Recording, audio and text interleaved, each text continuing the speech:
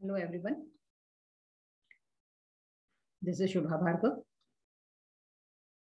I am taking the subject engineering geology and remote sensing. Mm, That is code is CE 405.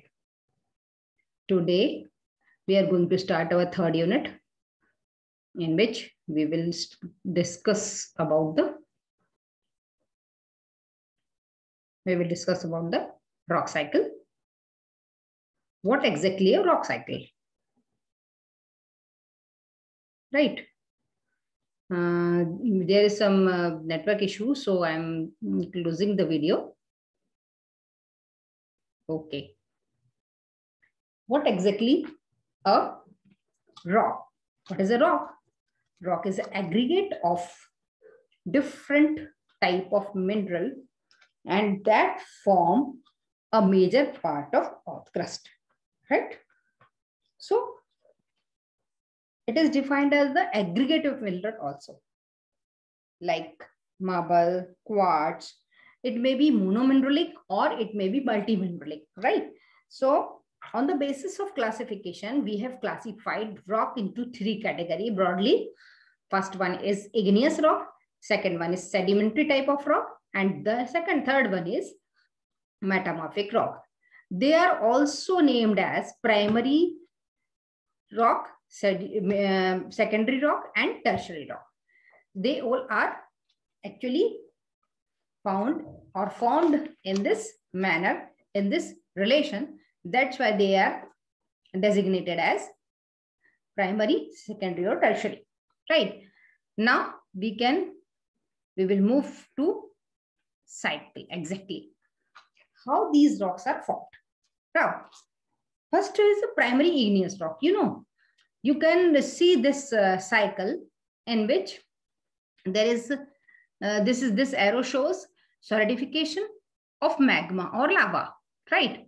Solidification of magma and lava.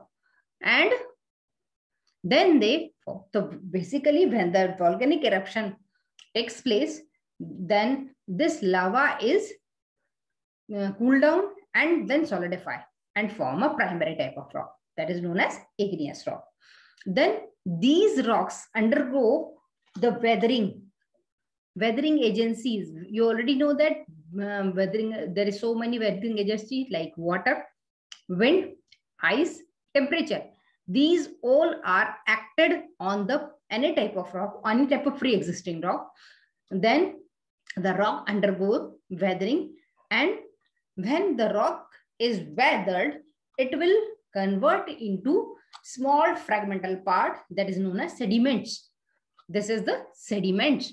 When these sediments eroded from the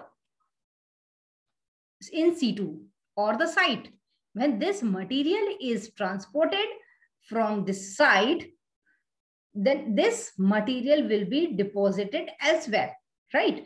This is the in situ weathering. You know what is in situ weathering? When the material is deposited at their site, then that is known as in situ weathering. But when the material is transported by any type of agencies like wind, water, and air, then the material will transport elsewhere.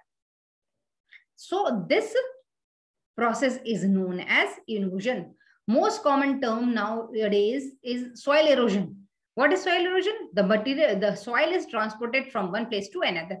That is erosion, right? So this, this is a process by which the secondary type of rocks is formed.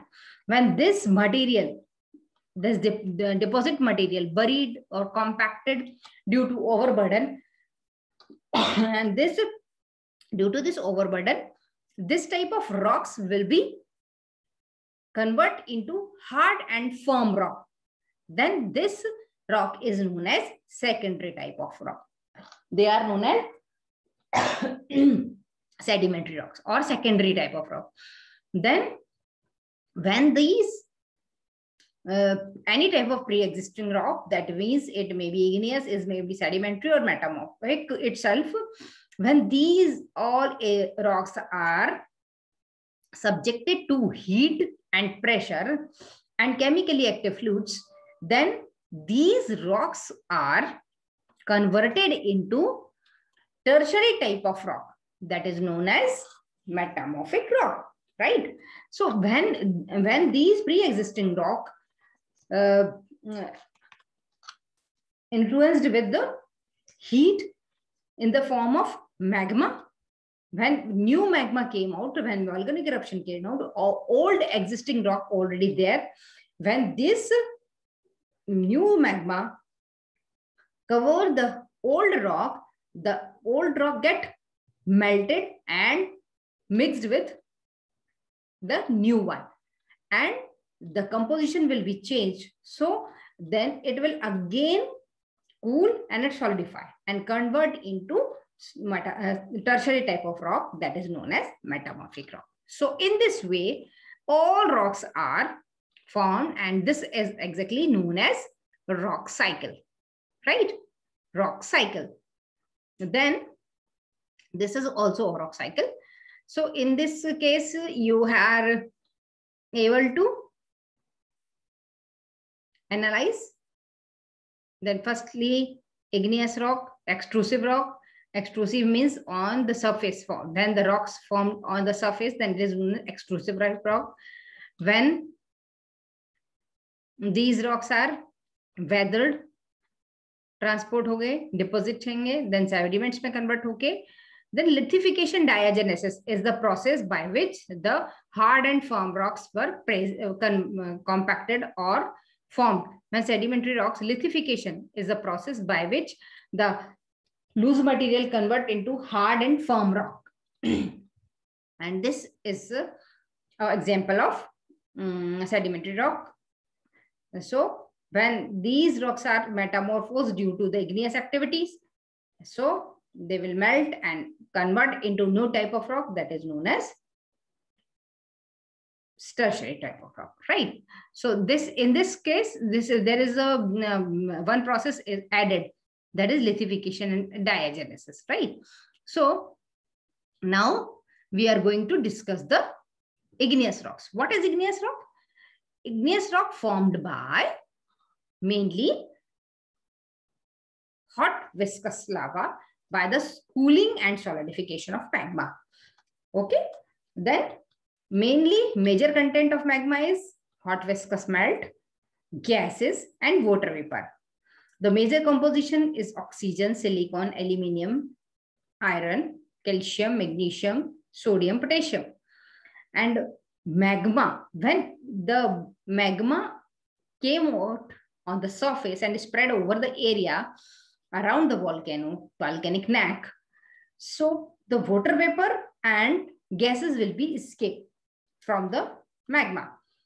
When these uh, things are uh, evaporated or escape from the material, then this new material is known as lava because their composition will be changed. Composition will be changed, right? So the major composition of lava is this new one lava, right? So igneous rocks is defined as a sort of rock that formed by the molten mass or molten rock by the cooling state of this molten rock, right? So uh, majorly the igneous rocks are of two types. First one is igneous rocks are intrusive or extrusive. Intrusive rocks are those type of rocks which are formed by crystallization below the earth's surface leading to large crystal because the cooling takes place very slowly. Its, its example is granite, pegmatite, diorite, all, all are these. Then come to the extrusive rocks. Extrusive rocks are those type of rocks which are formed on the on the surface and uh, due to the cooling of hot magma. The cooling rate of is very high or the, the area due to the when, uh, when the magma covers large area, it will cool down very fast. So there is no grain formation and temperature variation is too much there. So like uh, basalt and tuff and pumice will be formed. These are known as extrusive, extrusive type of rocks, right? So we will discuss Uh, the texture and the composition in next class. Thank you.